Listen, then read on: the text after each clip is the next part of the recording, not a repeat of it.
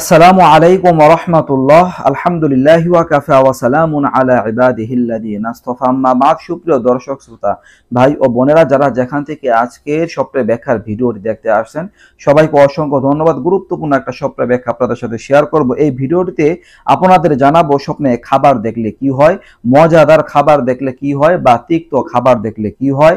আমরা অনেকেই হয়তো এরকম খাবার দেখতে পারি বা পানি জাতীয় খাবার যদি আমরা কেউ খেতে দেখি, যেমন স্যুপ হতে পারে বা শরবত হতে পারে, পানি জাতীয় যে সমস্ত খাবারগুলো আছে, তরল খাবার।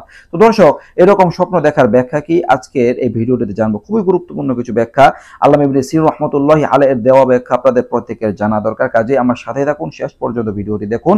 আমি আছি মুফতি মোহাম্মদ বেলাল হুসাইন, আপনারা দেখছেন H M M, Belal Hussain channel. দর্শক, কোনো ব্যক্তি স্বপ্নে যদি এই পানি জাতীয় খাবার খেতে দেখে, পানির মতো খাদ্য খেতে দেখে যেমন স্যুপ হতে পারে, এই স্যুপের মতো কোনো খাবার হতে পারে, এরকম স্বপ্ন যদি কেউ দেখেন, তাহলে স্বপ্নদ্রষ্টার জীবিকা প্রশস্ত হবে এমনটা বোঝায়। স্বপ্নদ্রষ্টার তার রিজিকটা অনেক প্রশস্ত হবে, তার জীবিকা অনেক দরজা খুলে যাবে। তিনি যে কোনো কাজে নিয়োজিত থাকেন, চাকরি বাকরিতে তার হয়তো প্রমোশন হবে, ব্যবসা বাণিজ্য থাকলে ব্যবসায় আরও উন্নতি হবে। তিনি যদি ক্ষেত খামার করে থাকেন, ওই ক্ষেত্রে আরও অনেক বরকত হবে, আল্লাহ তালা প্রশস্ত করে দিবেন, সব দিক দিয়ে। আলহামদুলিল্লাহ, চমৎকার একটি বিষয়। এরপরে দর্শক, কেউ যদি স্বপ্নে মজাদার খাবার খেতে দেখেন, সুস্বাদু খাবার খেতে দেখেন, তাহলে এমন স্বপ্ন দেখা স্বপ্নদ্রষ্টার মনের আশা পূরণ হবে, সাথে সাথে স্বপ্নদ্রষ্টার আর্থিক উন্নতি হবে বা তার জীবিকাটা প্রশস্ত হয়ে যাবে, এরকমটা বোঝায়।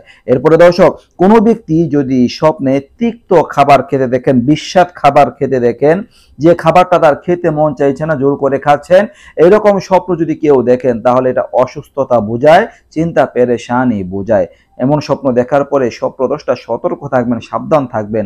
আল্লাহ তাআলার কাছে দোয়া করবেন, তাহলে অসুস্থতা থেকে, চিন্তা পেরেশানি থেকে তিনি বাঁচতে পারবেন ইনশাআল্লাহ। দর্শক, এরপরে কোনো ব্যক্তি যদি স্বপ্নে খাবার খেতে দেখেন, লোকমা নিয়েছেন, খাচ্ছেন, আর লোকমার মধ্যে তিনি চুল দেখতে পারলেন চুল দেখতে পারলেন। তাহলে এমন স্বপ্নে ব্যাখ্যা হচ্ছে যে স্বপ্নদ্রষ্টা জীবনে দুঃখ, কষ্ট আসতে পারে।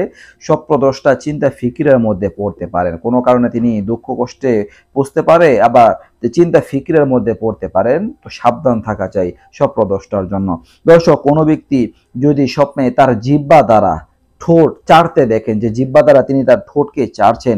এরকম স্বপ্ন যদি কেউ দেখেন, তাহলে এটা দেখা স্বপ্নদ্রষ্টার মনের আনন্দ বোঝায়, তৃপ্তি বোঝায়।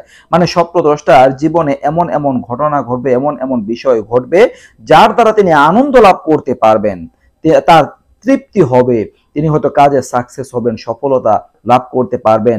যেভাবে তার জীবনটা চললে ভালো হবে, সময় চললে ভালো হবে, ওইভাবেই চলতে পারবেন ইনশা আল্লাহ তার এই সাময়িক সময় অনেক আনন্দের হবে এবং তৃপ্তিদায়ক হবে ইনশাআল্লাহ। দর্শক, কোনো ব্যক্তি যদি স্বপ্নে পচা ও দুর্গন্ধ জাতীয় কোনো বস্তু খেতে দেখেন দুর্গন্ধ জাতীয় কোনো বস্তু, তাহলে এটা দেখা স্বপ্নদষ্টার দুর্নাম, কুৎসা, এগুলো সব দিকে ছড়িয়ে পড়বে। স্বপ্নদষ্টার দুর্নাম হতো ছড়িয়ে পড়বে বা তার কুৎসা ছড়িয়ে পড়বে। এটা হতে পারে। তো স্বপ্নদশটা তিনি সতর্ক হয়ে যাবেন।